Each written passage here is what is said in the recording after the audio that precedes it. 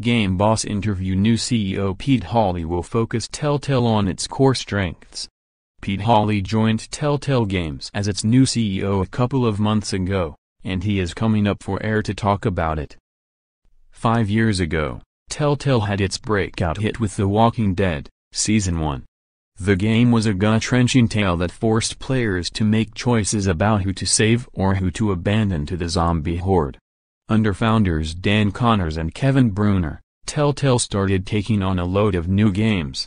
It expanded to more than 350 employees and started working on titles such as Batman, The Enemy Within, Minecraft, Story Mode, Game of Thrones, and others. During 2017, the company published 17 episodes across all of its franchises. But not every one of those was as polished as it could be. Hawley has decided to scale back, take more time on each game, and focus on fewer titles. The company laid off about 90 of its employees, or about 25% of the staff, shrinking down the total to about 250. Hawley, a former Zynga executive and co-founder of Red Robot Labs, replaced Dan Connors, who co-founded the company in 2004 along with Kevin Bruner and Troy Molander. Connors remains on the board, and has advised Hawley on the tasks ahead as Telltale strives to be the big proponent of dramatic stories in games. Here's an edited transcript of our interview.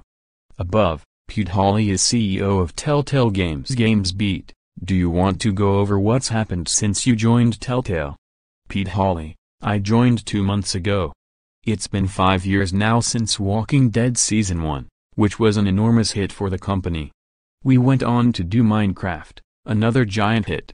But from that success and that player base, how much people loved the company, through that revenue the company grew and grew.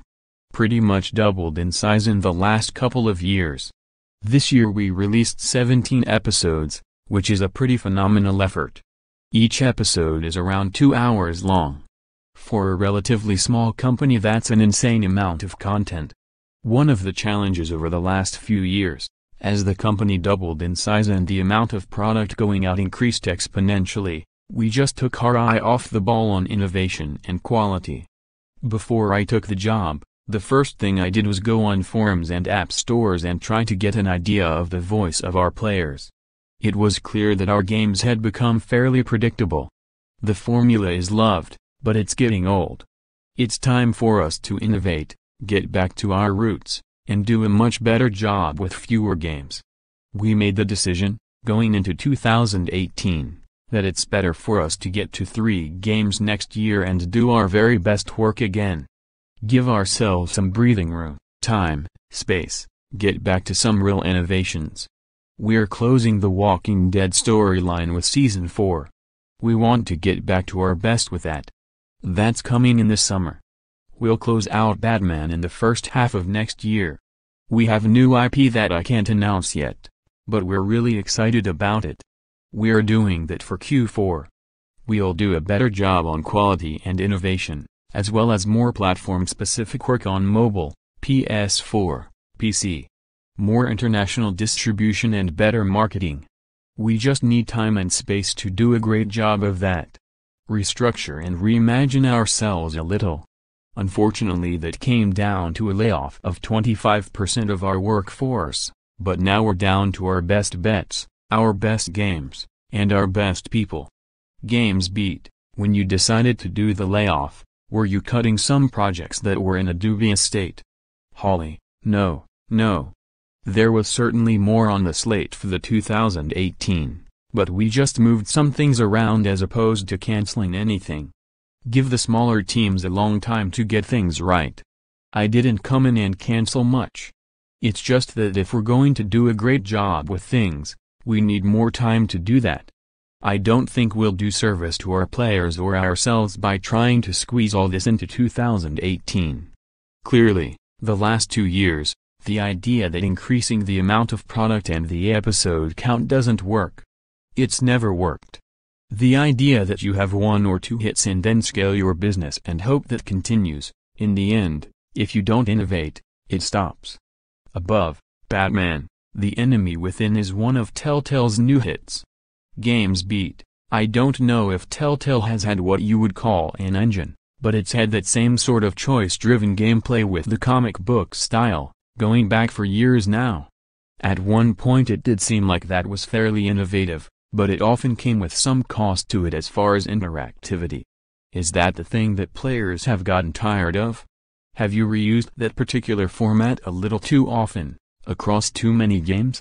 What were some conclusions you had? Hawley, there's a couple of things that come to mind. One is, over the last couple of years, to some extent we've moved away from some of the magic of Season 1 of Walking Dead.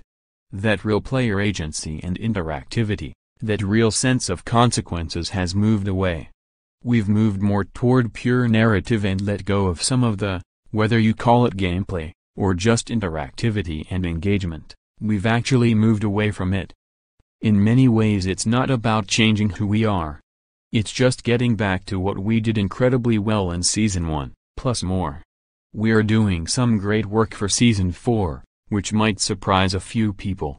We're taking the game and the gameplay in some different directions. But in the end, the company's reputation and the love our players have for us because of what we do, I'm not here to turn this into a one-game MMO shop. We don't have Blizzard envy. We're storytellers.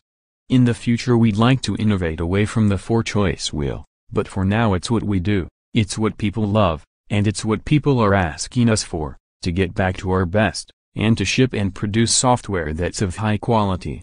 Not just gameplay, but also no crashes, no glitches, really focus on the quality of the overall product. It's not about a reinvention. It's about getting back to doing our best